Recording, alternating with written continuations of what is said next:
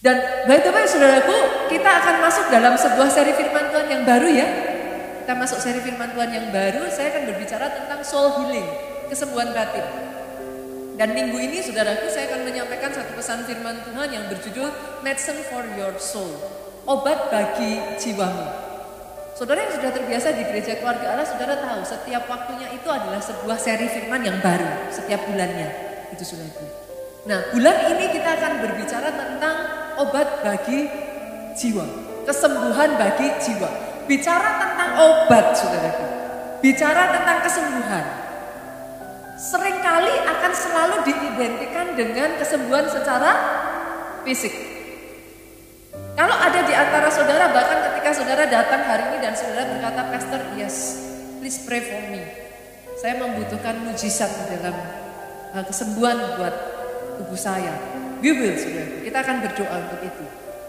Tetapi jangan salah, saudara. Ada sangat banyak orang yang saya lihat hari-hari ini. Jiwamu sedang tidak baik-baik saja. Ada sangat banyak orang, apalagi pasca pandemi ini ya saudaraku yang saya melihat. Ada banyak orang yang butuh kesembuhan buat jiwanya. Bahkan ya saudaraku, WHO itu mengadakan sebuah survei. Ditemukan saudara satu dari lima anak. 20% itu nggak main-main loh Pak. Satu dari lima anak dan remaja itu mengalami gangguan di dalam jiwanya. Artinya saudara duduk satu, dua, tiga, empat, lima ada aja satu gitu saudaraku. Kira-kiranya seperti itu. Dalam untuk orang dewasa saudaraku, justru lebih daripada itu. Satu dari empat orang dewasa mengalami hal yang sama. Saudara. Pastor, what do you want to say? Sederhana saudara. Jangan pernah malu mengakui kalau saudara tidak baik-baik saja. Yang mengerti katakan amin. Saya berdoa ya saudaraku bahkan selama seri firman Tuhan sepanjang satu bulan ini dipakai Tuhan. Satu demi satu. Selama masa pandemi kemarin engkau yang terluka, engkau yang dihancurkan, engkau yang kayak sama seperti firman Tuhan minggu lalu. Ada yang masih ingat saudaraku? Engkau yang sayapmu sempat terluka dan kayaknya nggak bisa terbang. I speak healing. Saya perkatakan kesembuhan untuk sayapmu. Ada kesembuhan atas jiwamu. Kalau mau tepuk tangan Jogja, tepuk tangannya yang paling meriah buat Yesus Tuhan kita. Boleh nggak sih senggol kiri kanan, Pak? Masih nggak dosa kok kalau bilang amin puji Tuhan tepuk tangan. By the way, you are in the right place.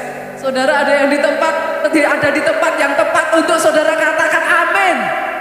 Ada di tempat yang tepat untuk saudara tepuk tangan dan beri kemuliaan yang paling meriah buat Yesus Tuhan kita. Pertanyaannya sekarang Pastor, how do I know? Bagaimana saya tahu kalau apa ciri-cirinya gitu Pastor? Kalau saya sedang punya masalah dalam jiwa saya gitu. Sebagian saudaraku, saya nggak tahu dengan saudara ya. Semua ciri-ciri yang akan saya sebutkan ini saya pernah mengalami semua. Saudara. Saudara yang mengalami, saudara tahu apa yang saya katakan. Sebagian saudara itu mengalami gangguan kecemasan. Bukan kecemasan biasa ya saudara, bukan gelisah. Orang-orang orang orang sekarang bilangnya galau. Bukan ya saudaraku. Bukan hanya sekedar kekhawatiran dan by the way, saya itu tidak melihat kekhawatiran itu nggak baik loh saudara. Loh, khawatir itu sebenarnya menandakan saudara sadar saudara manusia yang terbatas dan butuh Tuhan. yang gak baik adalah ketika saudara khawatir, engkau gak lari sama Tuhan. Sehingga kekhawatiran itu menghancurkan engkau. Tapi ketika kau khawatir dan engkau justru malah berlari kepada Tuhan, engkau mendapat pertolongan yang daripada Tuhan. Oh kalau mau tepuk tangan, tepuk tangannya yang paling meriah saudaraku. Apa tandanya pastor? Gangguan kecemasan itu kayak gini saudaraku. Yang berlebihan dan tidak terkendali. Dan itu di dalam banyak titik.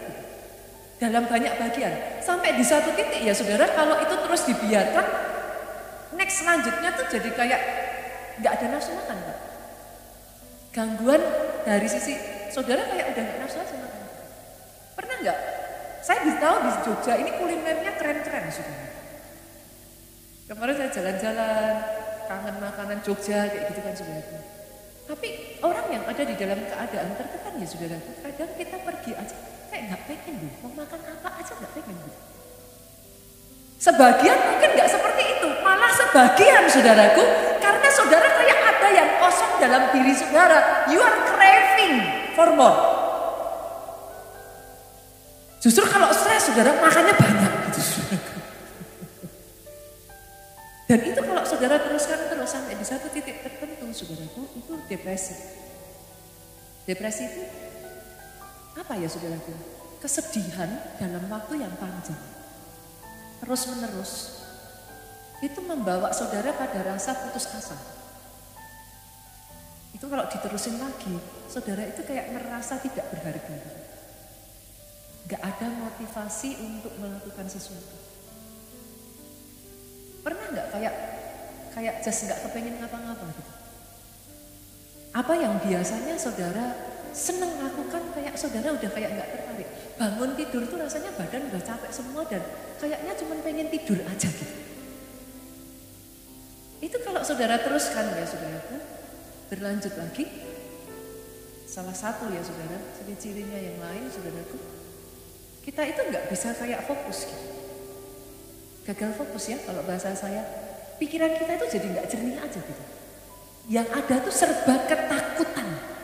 Akhirnya saudara pernah nggak berpikir, kok orang ini kok ngambil satu keputusan kok nggak masuk akal ya? Karena udah nggak bisa melihat jernih, tabrak. Pemikirannya sudah tidak bisa jernih. Bahkan sebagian ya saudara sampai pada tahap tertentu saya tuh pernah loh saudara itu ngarami ya. Saya tuh termasuk orang yang apa? I love I love being with people. Saya suka aja ketemu orang saudara itu. To be honest, saya tuh nggak nggak nggak keberatan. Saya tuh senang ketemu orang. I love people, basically. Tapi saya tuh pernah loh saudara, bukan karena orangnya enggak gitu. Tapi rasanya tuh kayak pengen sembunyi aja. Gak kepengen ketemu sama-sama aja. Just wanna be alone. Ada yang pernah mengalami seperti itu? Saya nggak kepala yang terang. Satu ketika ya saudaraku, saya ada di dalam satu keadaan yang so depres ya saudara. Saya tuh pernah waktu itu, Pak tuh sampai kaget ketika menemukan saya ya saudara. I just want to be alone begitu rupa ya saudara. Saya cari meja, saya meringkuk di ujung meja, saya diam di sana lama, just don't wanna do anything. Saya nggak tahu apa pernah saudara, bagi yang pernah mengalami tahu apa yang saya katakan. Kadang kalau nggak hati-hati bahkan ya saudara, saudara bisa yang kayak jalan di tempat yang tinggi gitu ya. Saudara nengok ke bawah gitu dan saudara berpikir, rasanya kayak apa ya kalau terjun ke bawah. Ada orang-orang ya sakitnya yang di sini tuh begitu rupa ya saudara, sampai saudara tuh nggak bisa nanggung itu. Saudara kepengen rasa sakit itu bisa dirasakan di tubuh yang saudara bisa lihat. Kalau ada di antara saudara, if you are here, kalau saudara mengalami apa yang saya katakan, izinkan saya mengatakan ini, please jangan diabaikan. Your soul is crying out for help. Jiwamu berteriak minta tolong. Hari ini kalau itu yang saudara rasakan. Doa saya reaching out begini. Doa saya Tuhan yang sama yang sudah pernah menangkap saya. Tuhan yang sama yang menyelamatkan hidup saya dari semua pengalaman itu. Doa saya Tuhan yang sama menangkap engkau di mana pun engkau berada. Bahkan engkau yang sempat bersembunyi, engkau yang sempat lari dari Tuhan. Di mana pun engkau duduk, saya berdoa. Engkau jumpa dengan sahabat baik saya yang sudah memulai pulihkan hidup saya. Jadi, jadi, jadi, jadi atas hidupmu.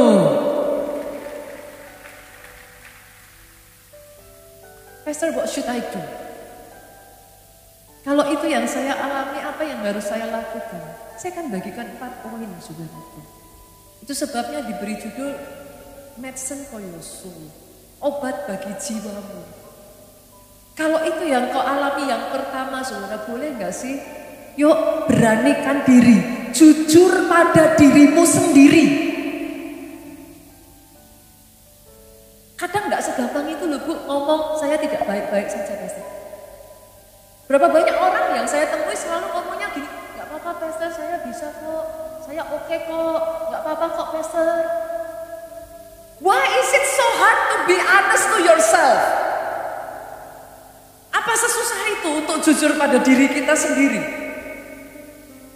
Pastor, why should I be honest? Kenapa saya harus jujur, Pastor? Dengar ini, saudaraku. Keterbukaan awal dari pemulihan.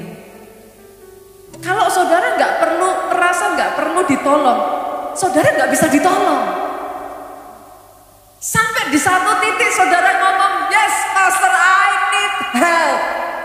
Then the journey begin.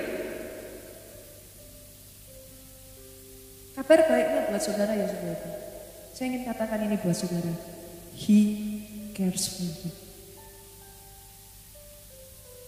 Tuhan yang saudara dan saya sembah, dia peduli pada saudara. Dan boleh nggak saya katakan pada saudara, you are not alone.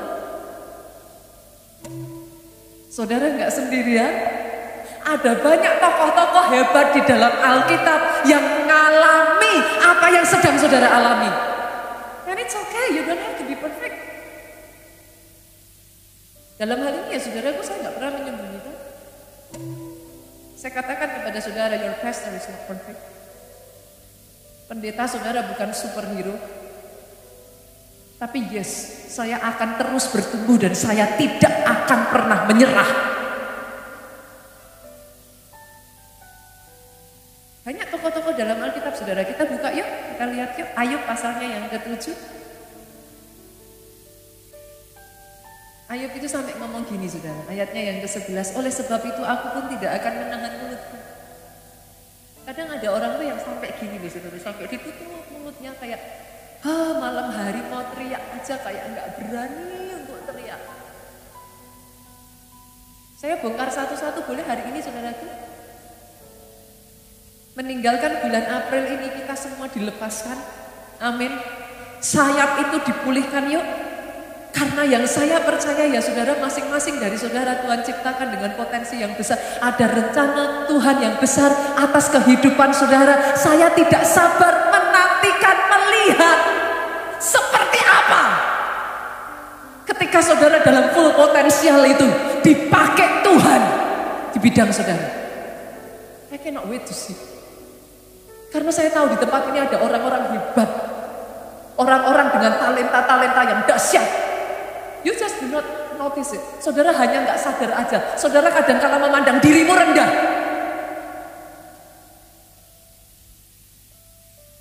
Jangan meremehkan diri kita sendiri loh saudaraku. Karena di dalam darahmu mengalir darah. Leluhur saudara itu ya saudara, orang-orang yang sudah mengalahkan raksasa.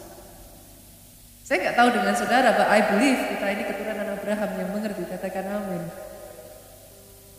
Ada satu leluhurmu yang namanya Yakub, dia pernah wrestle. Kalau kita mencatat dengan Tuhan. Dia wrestle with God, dia wrestle with the angel. Dia tidak mau menyerah pada keadaannya. Dia bertarung di situ, dia bergumul dengan Tuhan. Sampai Tuhan mengubah kehidupannya. Yabes yang lahir dengan satu destiny dicatat anak ini lahir dengan kesakitan. Dia nggak mau menyerah tuh saudara itu. Ada di sini mungkin itu yang kau katakan dalam hidupmu. Pastor, selamanya saya akan jadi orang gagal. Hari ini saya tantang saudara, kalau leluhurmu berhasil bergumul, dan mengalahkan nasib dalam kehidupannya. Keluar sebagai pemenang. Ada darah pemenang di dalam kehidupanmu. Engkau ditentukan untuk jadi lebih dari pemenang. Boleh aminnya yang paling keras jadi atas hidupmu. Amazingnya lagi ya saudara bukan cuma Ayub saudara Ayub itu sampai ngomong Aduh, udah sesat. Aduh, aku akan berbicara dalam kesesakan jiwaku, mengeluh dalam kepedihan hatiku. Mungkin sebagian dari saudara ngomong, Pastor, nah tapi kan saya ini leader loh di gereja ini, Pastor. I cannot be weak. Saya nggak bisa terlihat lemah. Saya pembicara loh, Pastor. Saya pelayan mimbar loh. Ya jangankan saudara yang pelayan mimbar, pembicara, yang mana lah terserah leader kayak ini yang bicara nabi besar. Yeremia saudaraku. Kurang apa? Siapa yang nggak pernah baca nama Yeremia? Kurang besar apa nabi ini? Ratapan 1 ayat 20 ngomong gini, ya Tuhan, lihatlah ini Yeremia ngomong loh saudara. Ya Tuhan, lihatlah betapa besar ketakutanku. This is why I love my Bible. Ini sebabnya kenapa saya cinta Alkitab saya, saudara. Alkitab saudara itu jujur. Alkitab nggak hanya menulis yang baik-baiknya saja. Ini Yeremia dia ngomong, betapa gelisah jiwaku. Segelisah apa saudaraku? Hatiku terbolak-balik di dalam dadaku, roller coaster. Dia pernah mengalami seperti itu? Yeremia ngomong, kenapa saudara? Dia ngomong, aku sudah tidak kuat. Ini nabi sekelas Yeremia. Dia ngomong. Yeremia tuh ngomong gini, karena sudah melampaui batas. Aku memberontak. Sudah melampaui, udah nggak bisa lagi. Pengennya ngelawan, pengennya nggak terima. Kenapa sudah? Jiwa kita ini punya batas. Jangan salah. Jiwa dalam keadaan tertentu ya saudara. Enggak apa-apa. Pressure itu saudara ditentukan, saudara itu tahan tahan terhadap pressure. Itu itu sudah ketetapan saudara. Dan manusia itu diciptakan ya bukan hanya tahan pressure ya. Saudara itu bisa adapt. Saudara bisa beradaptasi. Kita tidak seperti dinosaurus yang punah sebenarnya. Yang mengerti katakan amin. Sampai detik hari ini saudara melalui banyak hal dan here you are. You survive. Lihat kiri kanan kamu orang yang hebat.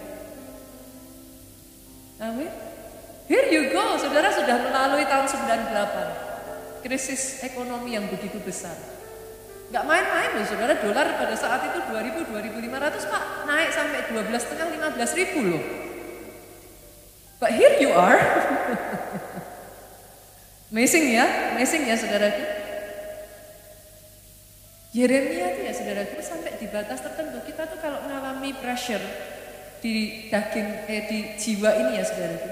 Yeremia kenapa sampai dia ngomong aku sudah nggak kuat, udah mau memberontak. Kenapa saudara? Lihat ini dia ngomong saudara. Karena sudah melampaui batas, aku memberontak. Di luar, ini yang dilihat, dilihat Yeremia tuh ini. Di luar keturunanku dibinasakan di sini yang selama masa pandemi kemarin, maaf saudaraku, kehilangan orang yang saudara cintai. Manusia itu ya saudara dalam batas tertentu ketika mengalami peristiwa-peristiwa yang cukup cukup traumatis dalam kehidupannya, dia bisa berubah.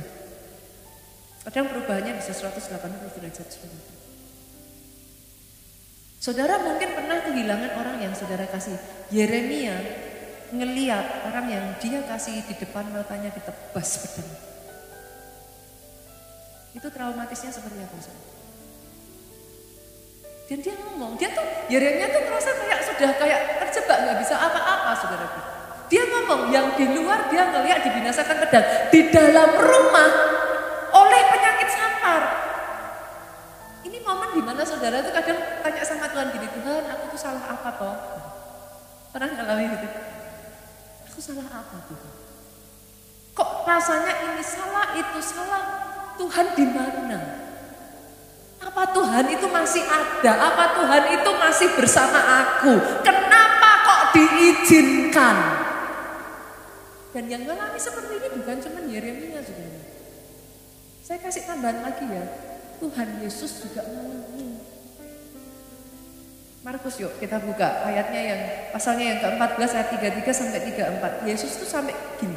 Ia membawa Petrus, Yakobus, Yohanes sertanya. Yesus tuh sampai nggak mau sendirian. Dia minta ditemani. Ia sangat takut dan gentar. Ini siapa saudara? Yesus. Ya. Katanya, nya besar, kata Yesus kepada mereka, hatiku sangat sedih, seperti mau mati rasanya. Tinggallah di sini berjaga-jagalah. Ini we're talking about Jesus. Pastor, what do you want to say? You are not alone. Kalau Ayub mengalami, Yeremia mengalami, Tuhan Yesus mengalami benar ketika engkau justru membuka dirimu, engkau memberikan jalan buat Tuhan bekerja dalam hidupmu. Jangan malu saudara, itu bukan sesuatu yang memalukan kok. Gak peduli saudara itu dari dari orang kaya kah, apakah miskin kah, dia tuh gak mengenal itu semua saudara. Apakah saudara dari orang yang well educated, berpendidikan tinggi, apakah pendidikan saudara biasa, saudara besar, kecil, tua, muda, dari latar belakang apa pun itu enggak enggak enggak efek saudara. Satu titik setiap kita akan berurusan dengan jiwa gitu. Doa saya di momen itu, do not hide. Buka. Belajar untuk terbuka. Tapi terbukanya juga jangan ngawur ya saudara. Pastor, pastor bilang terbuka. Oke, mulai sekarang saya akan melupakan masa lalu saya. Saya ceritakan sama semua orang. Gak gitu juga kali saudaraku. Yang ada saudara malah jadi bahan gosip. Terus gimana pastor? Pastornya sih katanya suruh terbuka, sekarang saya terbuka salah. Terbuka pada orang yang ke tepat. Itu sebabnya para pelayan Tuhan, halo, para leader KKS boleh lambai-lambaikan tangan di tempat ini. Halo saudara, kalau ada orang yang cerita kepada saudara senggol kiri kanannya, jangan ember.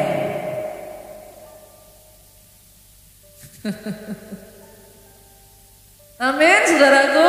Gereja kita bukan gosip. Gosip boleh nggak? Boleh, betul. Boleh di depan orangnya.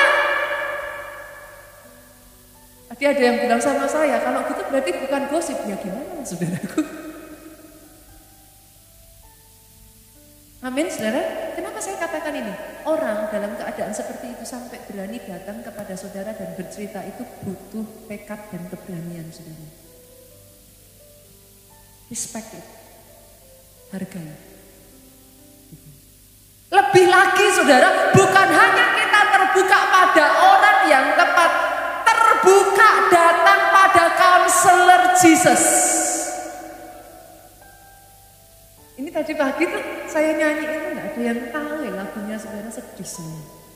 Saya jadi berasa kayak sudah tambah umur gitu Ada yang pernah dengar ini lagu ini saudara itu? Um, apa namanya? Seorang anak lahir. Ah, jam ini tahu.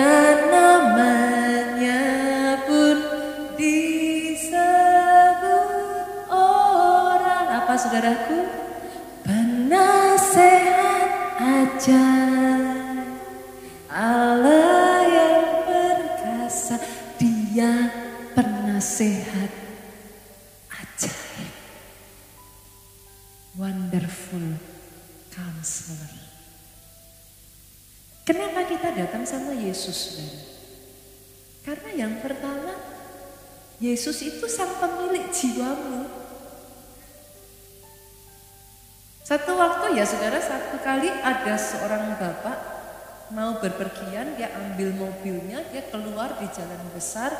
Setelah sekian waktu dia setir mobilnya, mogok bu di tengah jalan. Bapak ini keluar, ambil peralatan, ya biasalah bapak-bapak kan lebih menguasai mesin ya buka kap mobilnya, tak tak tak tak tak tak tak tak, tak. setelah sekian waktu mobilnya nggak beres-beres.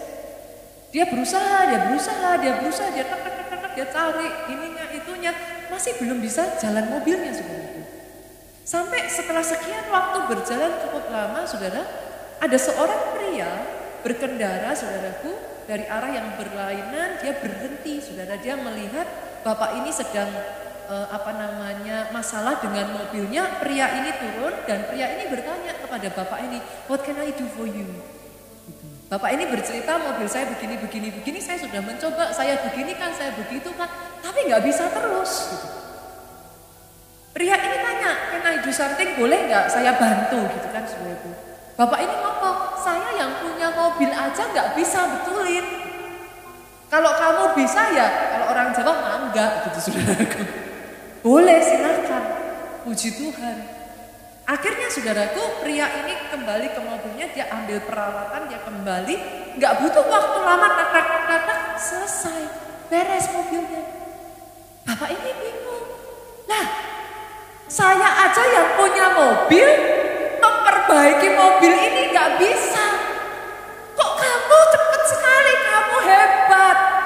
Bapak ini jabat tangan pria ini, dia Pria ini terima jabatan tangan bapak ini ngomong sama-sama. Perkenalkan, nama saya Henry Ford. Saya yang membuat mobil Anda.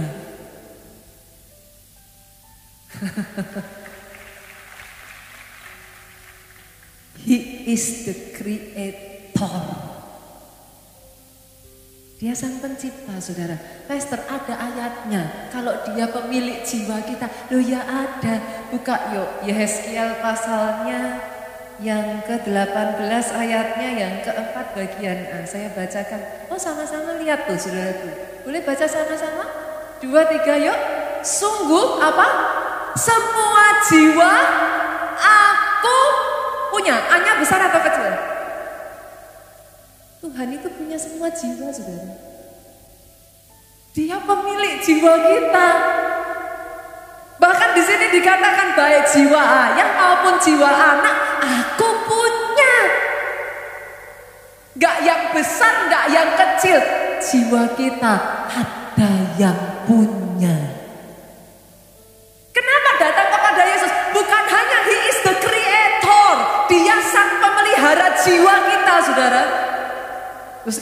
Tanya ya, Bapak Ibu di sini yang punya mobil nih, saya mau tanya. Mobilnya setiap sekian bulan sekali diservis enggak? Nah loh, kan lihat kiri kanan. Coba ngomong sampingnya, apalagi kita. Dan setuju nggak dengan saya saudara? Servis terbaik adalah servis ke bengkel resminya. Yang ngerti katakan amin. Boleh nggak atau saudara jiwanya ini diservis ke bengkel resminya saudara? Halo. Dia sang empunya jiwa dan pemelihara jiwa kita. Ayatnya mana? Ada, saudara. Kita buka ayo. 1 Petrus 2 25 sebab dari dahulu kamu sesat seperti domba. Kita ini kan domba, saudara. Diibaratkan seperti domba. Kita tuh ngomong, kamu suka sesat kayak domba. Domba itu kadang suka nyelos saudara. Loh domba itu lucu loh saudara. Domba itu kadang ya bisa tersesat tuh saudara itu. Masuk jurang sendiri. Dan ya beneran. Domba itu bisa begitu. Masuk-masuk jurang sendiri saudara. Dan kalau dalam kehidupan kita, di dalam keterbatasan kita, kita los. Kita tersesat. Kenapa khawatir itu penting saudara? Kenapa rasa sakit itu penting? It is a signal. Belajar untuk mengerti signal-signal itu jangan diabaikan. Tadi saya sudah sampaikan, khawatir itu adalah signal kita sadar kita tidak mampu. Kalau saudara masih merasa mampu, nggak akan merasa khawatir.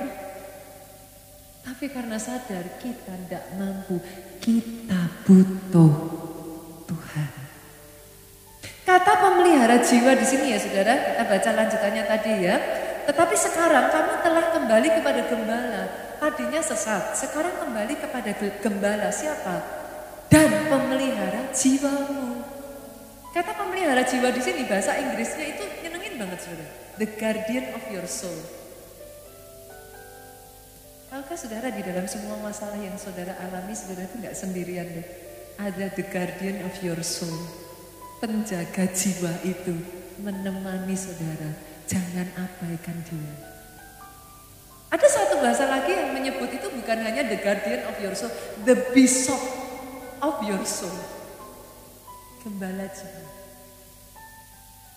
Dan karena dia gembala jiwa, dengar ini poin yang ketiga saudara. Kenapa kita datang sama the counselor Jesus? He cares for you. Dia peduli.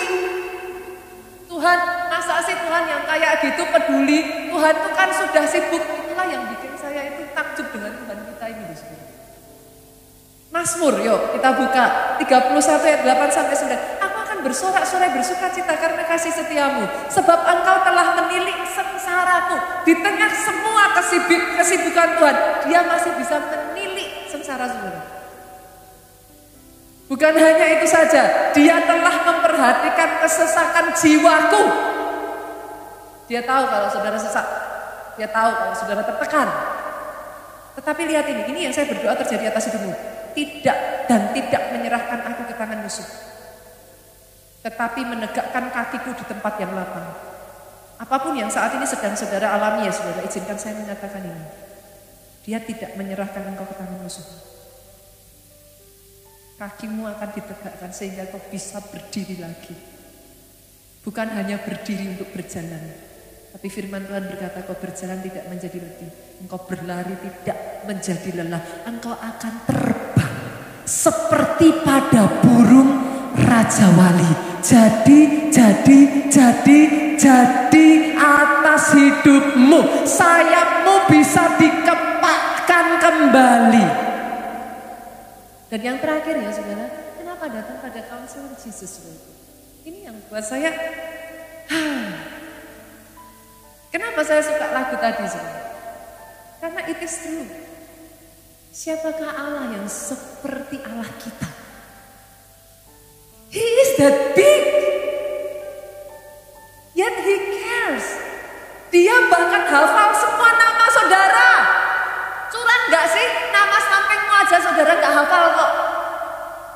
Coba saya tanya. Ayo, sampingnya siapa namanya, depan belakangnya siapa namanya. Kan? Tapi Tuhan tahu setiap nama saudara. Curang gak sih? Dia segitunya loh saudara. He is that big, yet he cares for you. Dia ini ya saudara, imam besar yang keempat, yang tahu semua kita rasakan. Ibrani 4 ayat 15, sebab imam besar yang kita punya. Siapa imam besar yang kita punya? Yesus. Sebab imam besar yang kita punya bukanlah imam besar yang tidak dapat turut merasakan kelemahan-kelemahan kita. Lihat ini saudara. Sebaliknya sama dengan kita. Ia telah dicobai hanya tidak berbuat dosa. Apa maksudnya saudara? Tidak ada satupun perasaan yang saudara rasakan yang dia tidak tahu. Pastor apa Tuhan tahu? kalau saya ini tertolak. Bu, Tuhan saudara tuh ditolak berapa kali Pak? Anak sekolah minggu aja punya nyanyiannya. Serigala ada lubangnya, burung di udara. Eh, yang ini nggak tahu. Saya jadi mikir nih saudara. Sarangnya, tapi Yesus tidak ada tempat untuk meletakkan kepalanya. Tuhanmu tuh tahu saudara rasanya ditolak saudara. Orang yang sama yang ngomong Hosana bagi anak domba, the next Setelah mereka ngomong begitu, the next day mereka ngomong salibkan dia. Di mana mereka semua? Di antara orang-orang itu sudah pernah mengalami mujizat Tuhan loh. Yesus menyembuhkan mereka dengan tangannya loh saudaraku. Where are they? Pada saat Yesus disalib di atas kayu salib ya saudara. Ada sebagian dari saudara merasa kayak pastor saya ditinggal, saya kesepian, saya enggak. Saya benar-benar ngerasa kayak enggak punya siapa pun bersama dengan saya. Di atas kayu salib itu murid-muridnya semua enggak ada yang nemenin dia loh saudara. Yang tinggal hanya ibunya satu, Yohanes. Where are they? Mereka 12 murid, mereka bukan orang lain loh. Tidur sama-sama, makan satu meja. Oh, saya nggak bisa bayangin saudaraku rasanya Yesus ada di kayu salib pada saat dia lihat ke bawah, dia tidak mendapatkan siapa pun di sana. Inkas ada di antara saudara-saudara yang pernah merasa kayak saudara dikhianati. Saya harus katakan ini kepada saudara. He exactly experienced it. Saudara mungkin berkata kepada saya, Pastor saya merasa dipermalukan. Kalau ada satu film yang saya nggak bisa nyaksiin sampai lengkap ya saudara, Passion of the Christ. Setiap kali saya lihat Passion of the Christ, jujur saudara, hati saya tuh nggak nggak nyampe. Yesus itu jalan, dia tuh benar-benar dilepas saudara. Kalau saudara itu malunya seperti apa? Disaksikan orang seluruh kota. Saudara merasa disalah mengerti? Come on. Yesus itu di kayu salib bukan dihukum atas kesalahannya dia loh. Bahkan Alkitab mencatat tidak ditemukan kesalahan padanya. Tapi tetap dihukum. Di mana orang-orang yang pada saat itu disembuhkan Yesus? Di mana orang-orang yang pada saat itu ditolong Yesus? Ada. Dia tahu apa yang saudara rasakan. Bahkan dalam semuanya itu ya saudaraku, ini ada di antara saudara-saudara yang pernah merasa kayak putus asa, saudara udah gak kuat lagi Yesus dalam menanggung semuanya itu dia khusus memberikan satu signature kepada saudara. Dia tidak menyerah. Di sampai titik terakhirnya dia berkata, it is finished. Kenapa saudara? He wants to give you a message. Kalau aku bisa, engkau juga bisa. Yuk, maju lagi yuk. Yesus ngomong sama saudara, Aku sudah menyelesaikan sampai akhir. Bahkan semuanya tadi yang saya katakan, I bear it all. You can do it. Datang pada counselor Jesus. Pastor kalau saya mau datang sama Yesus, oke, okay, saya tahu. Saya mau datang sama Yesus. Waktu saya datang sama Yesus, saya mesti gimana? Saya harus gimana? Kalau saya mengalami semua itu, saya berbeban bersama seperti yang Pastor ceritakan, saya mengalami semua gangguan itu semuanya. What should I do, Pastor? Yang ketiga, saudaraku, saya bukakan ayat ini. Filipi pasalnya yang keempat, ayatnya yang keenam sampai tujuh. Ayat ini ngomong seperti ini, janganlah hendaknya kamu khawatir tentang apa pun juga. Boleh saya tanya saudara? Kalau gitu kita boleh khawatir enggak? Nah, tadi ayatnya bilang janganlah kamu khawatir tentang apa pun juga. Ayat ini ngomong seperti itu saudara karena ayat ini tahu bukan boleh nggak boleh. Kamu akan khawatir anyway.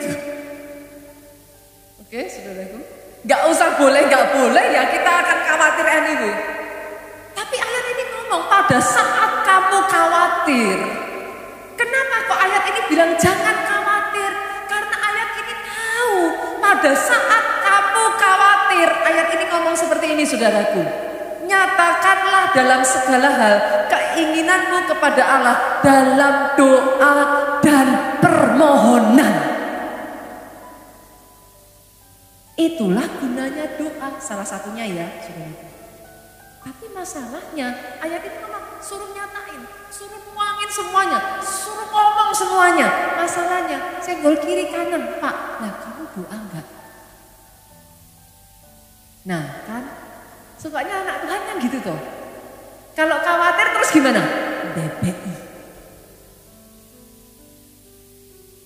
Nah tadi katanya pasang status.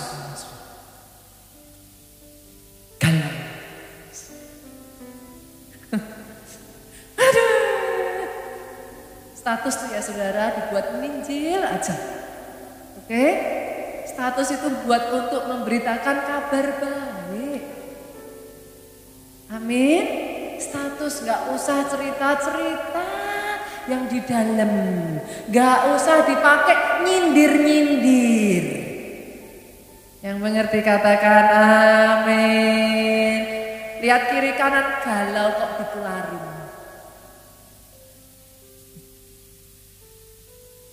Oke? Okay?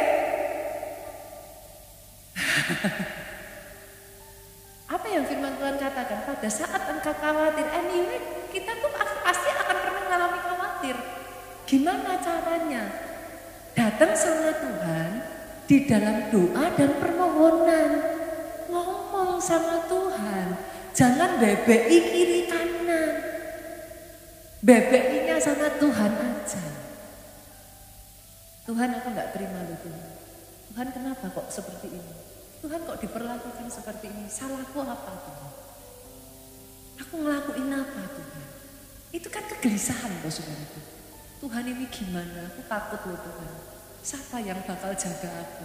Kalau sampai terjadi kayak gini gimana Tuhan? Tuangkan semuanya itu dalam doa dan permohonan. Berarti boleh minta enggak? Boleh. Lo enggak salah loh saudara minta. Orang disuruh kok dalam doa dan permohonan. Artinya apa? Tuhan tolong. Tuhan bantu Tuhan buka jalan buat aku. Tapi nggak sampai di situ, ditambahi. Ada lanjutannya saudara dalam doa dan permohonan dengan sumut-sumut.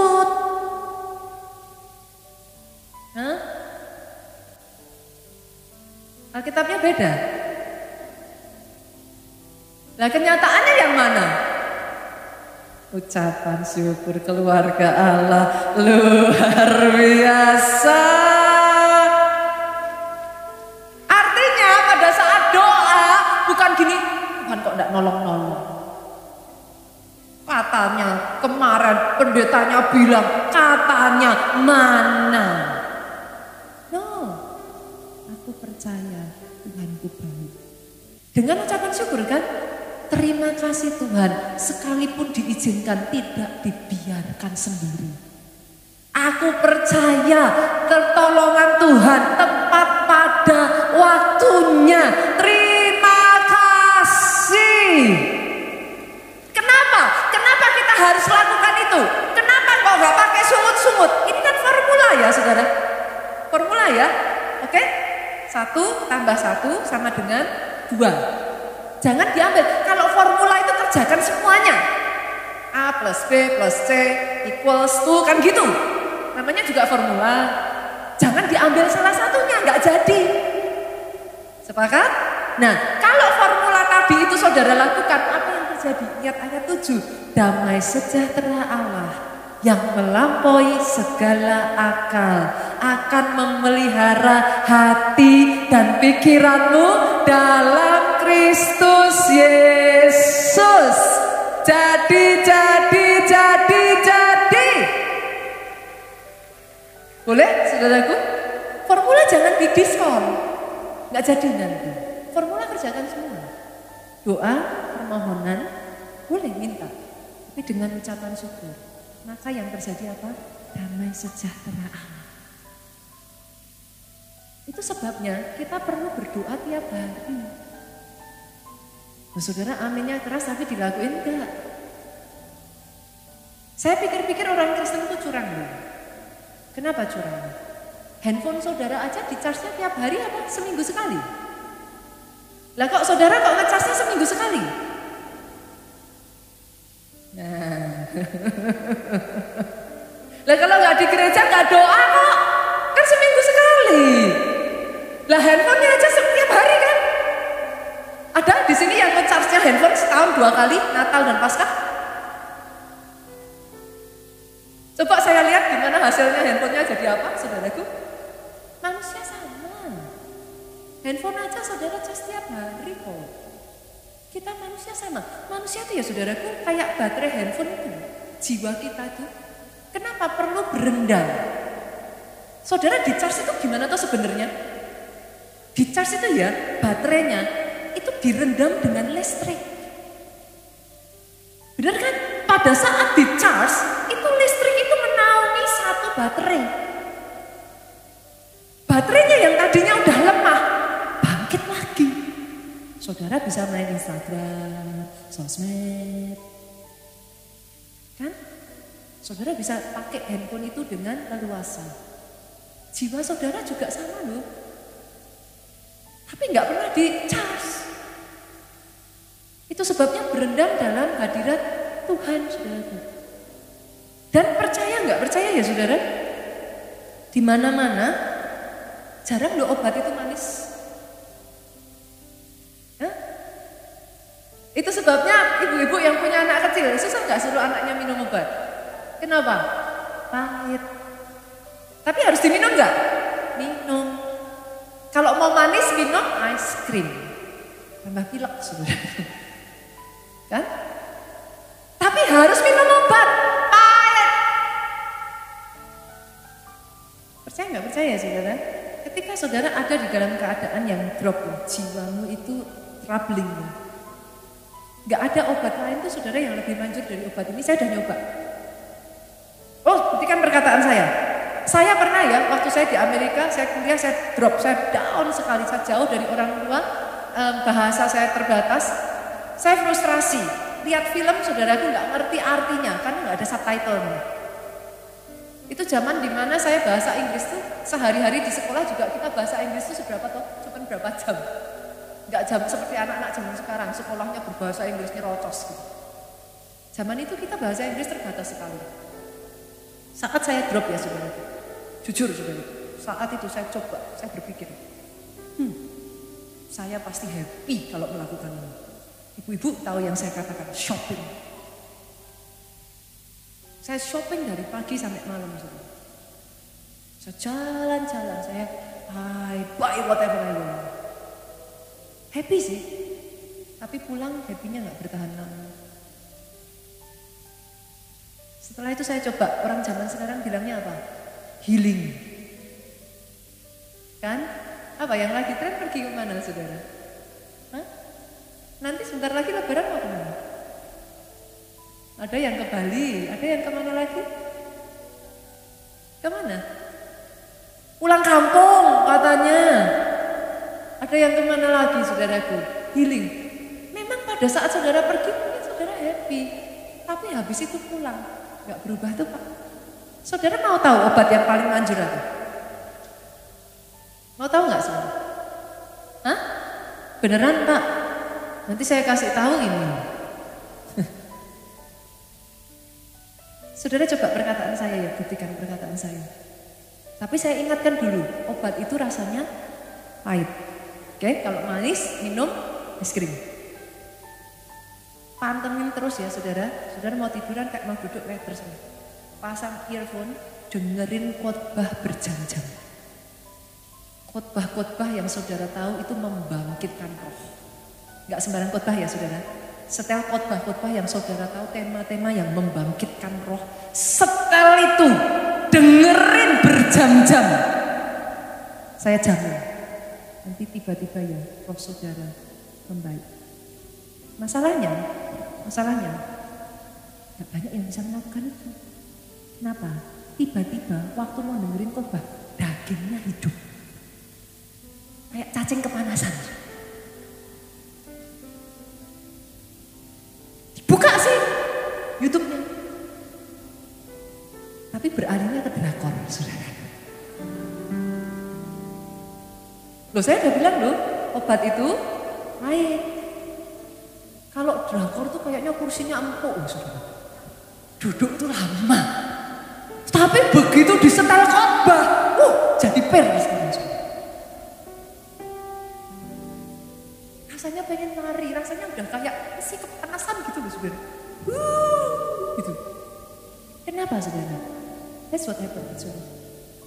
Tahukah saudara seberapa kuat jiwa saudara? Sekuat roh saudara. Saya ulang ya saudara. Seberapa kuat jiwamu, sekuat rohmu. Kenapa tiap hari berdoa saudara? Jiwa kita ini tiap hari pasti ada hantaman. Masalah, kesalahpahaman sama pasangan. Belum kalau ada hutang piutang. Kan? Loh itu itu berat saudara.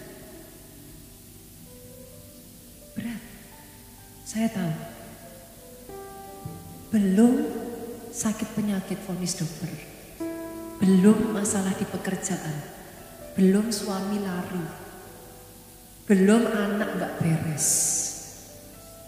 Belum dimarahin di pekerjaan. Itu on and on. Tadi kan saudara cas kan? Saya tanya, habis nggak baterai saudara setelah dicas? Menurun kan? Menurun kan?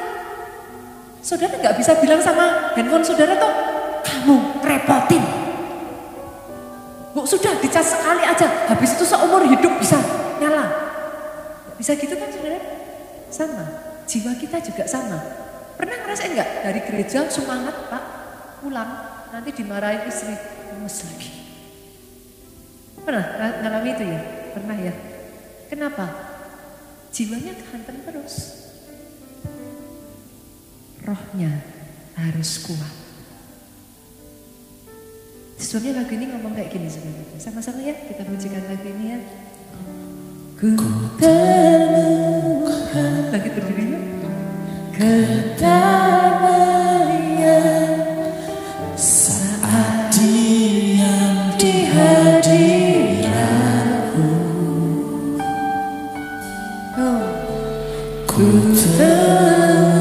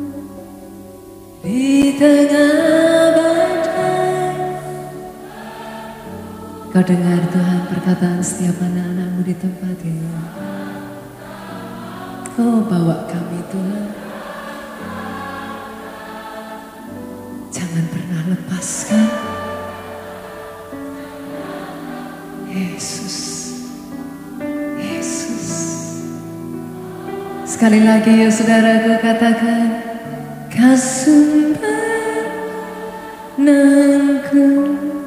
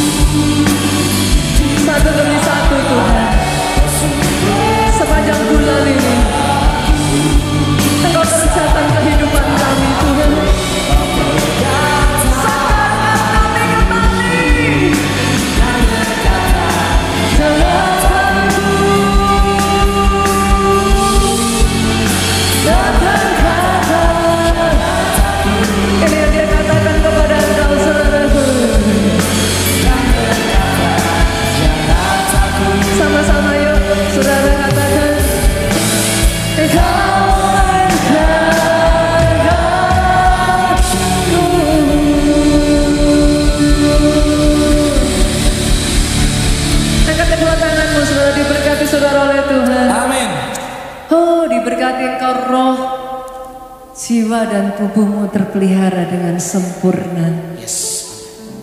Sehat tubuhmu, saudaraku. Amin. Kalau hari ini ada orang yang sedang ada di dalam pergumulan dengan kesehatannya, angkat tanganmu saudara, nggak usah lihat kiri kanan, angkat tanganmu. Disampaikan firmannya dan disembuhkan Amin. mereka oleh bilurnya. I speak healing. Yes. Amin. Kesembuhanmu Yes. mengalir. Amin. Yes. Amin. Sejak engkau keluar dari tempat ini, Amin. kesembuhan bekerja atas hidupmu. Amin. Amin. Baik jiwamu, Yes. kuat roh, Amin. panjang umurmu. Amin. Dalam hidupmu tidak pernah kekurangan hal baik. Kesaksian tentang betapa dahsyatnya Tuhan itu atas hidupmu. Pulang saudara bawa damai, sukacita yang dari Tuhan. Cinta kasih Yesus Kristus, putranya, persekutuan dengan rohnya yang kudus, yaitu roh kudus sekarang sampai selama-lamanya engkau yang diurapi, engkau yang diberkati bersama dengan suaramu yang paling keras, katakan, Amin.